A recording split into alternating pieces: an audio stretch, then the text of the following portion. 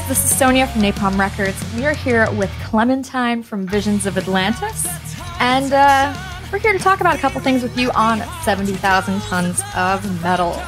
So, how are you liking the cruise so far?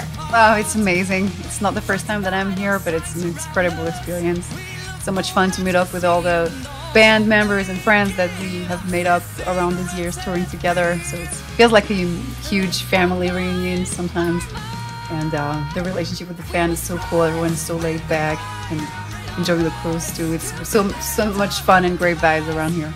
Now you went kayaking yesterday, which I yeah. joined in for. she does. She was fierce, you know. yeah, it was. Sorry, so you had a question. do you do any like sports like that on the side? Kayak, no, not as itself. It was not my first time though, but um, yeah, I, I love to, to climb. I go climbing like once or twice a week yeah, in, the, in the club indoors. And um, when I can, yeah, going outside is good as well. And working out and yoga, of course, mm. once a week as well. It's a great balance.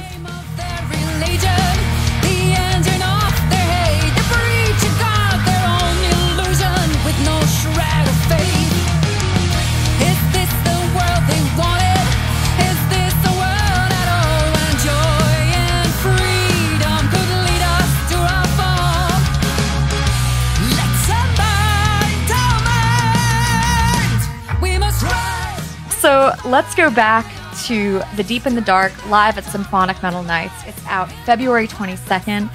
Let's talk a little bit about your experience with the Symphonic Metal Nights tour. Um, any standout moments for you, um, like interactions with fans that were really, you know, important?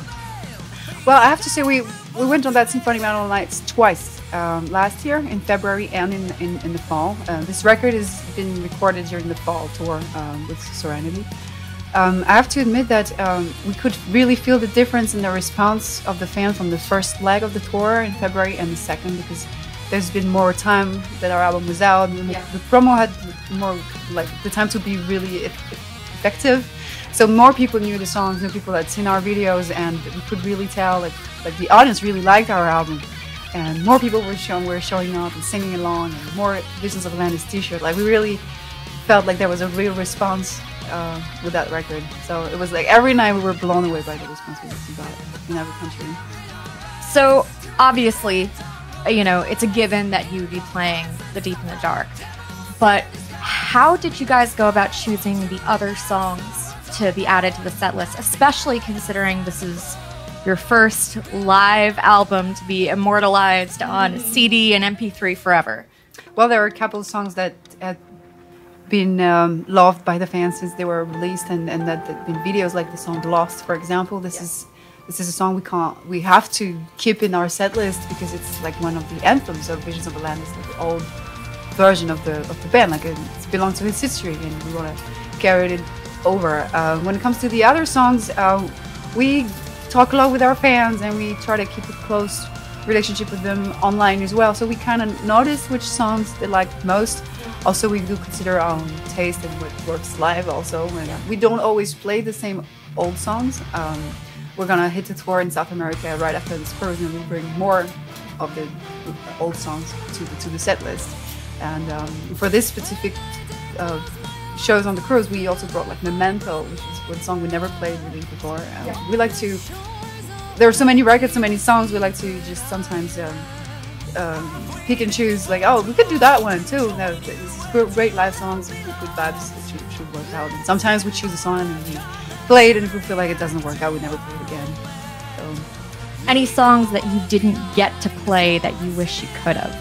From Visions of Atlantis History. Yeah.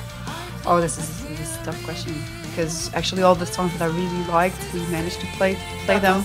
Yeah.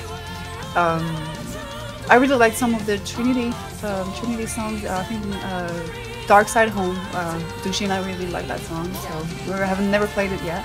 So maybe, maybe we'll get the others to uh, um, to share our opinion about, about it, or maybe we'll move on because you know we're working on a new record now. So we're gonna have even more material to choose from.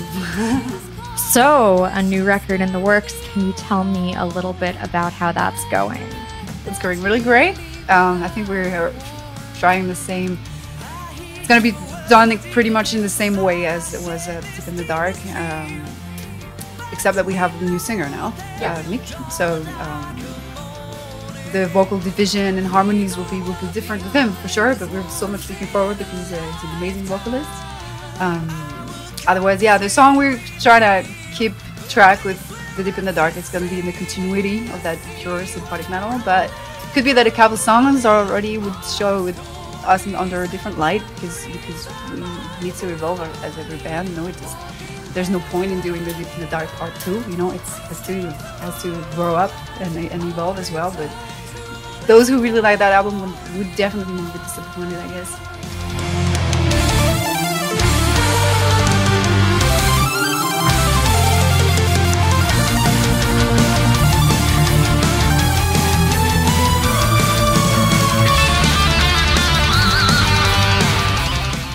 So, Visions of Atlantis' 20th anniversary is coming up. Is anything special going to be going on for that? I think it's just a topic we have to start up in the band because I, I noticed I, I got exactly the same reaction like you like oh it's gonna be soon the 20th anniversary um, but so far there there were no specific plans to, to, to reveal but I guess there definitely would be something to do about it because we celebrated the 15th anniversary in our hometown playing a very special show with the I think two or three of the former singers so that was really special the 20th we really have to do something Go big or go home. yeah Well, Clementine, thank you so much for talking with us, and we are very much looking forward to what's coming. Pick up your copy of The Deep & the Dark live at Symphonic Metal Nights now via Napalm Records. And uh, yeah, keep an eye out for new stuff coming your way from Visions of Atlantis. See you soon on the road. March with Kamelot and Evergrey. Bye.